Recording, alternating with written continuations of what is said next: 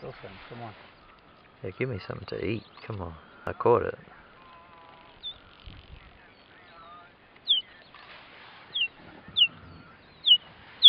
Squealing. Hear them calling. Yeah, calling.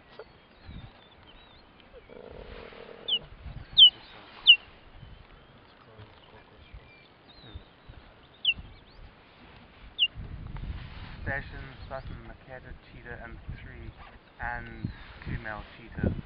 Um, at the junction of Gulfs Road and Bunker Boundary.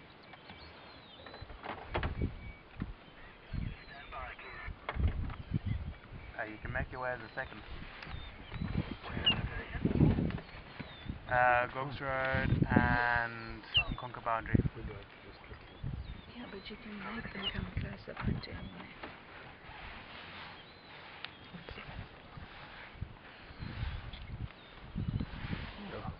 We're everything first today. John. Yeah. John goes. These are evil looking cheetahs, especially Mm. with that blood around their mouth.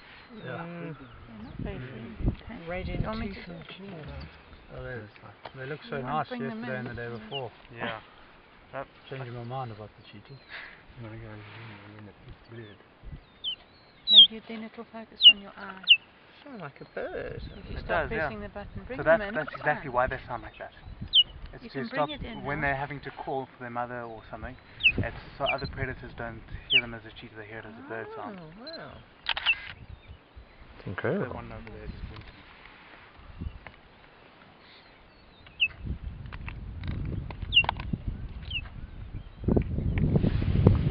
I'm amazed that this, this female hasn't taken these cubs away from here. Well, are they? Would they? Would those male lions could attack those cubs Yeah, they could. as as food? Yeah, uh, not as food, as uh, Just kill. them out as competition. Right, and just kill them. Yeah, That wouldn't eat them. no. This is the best I've ever seen. It's incredible.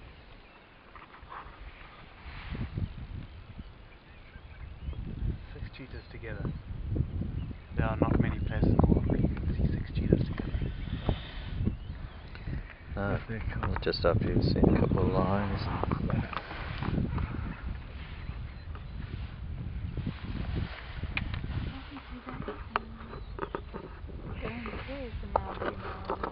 So the females is, uh, move around like an individual.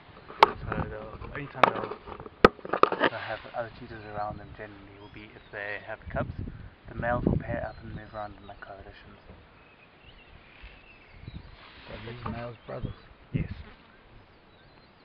And that's about as much as I can tell you about them. I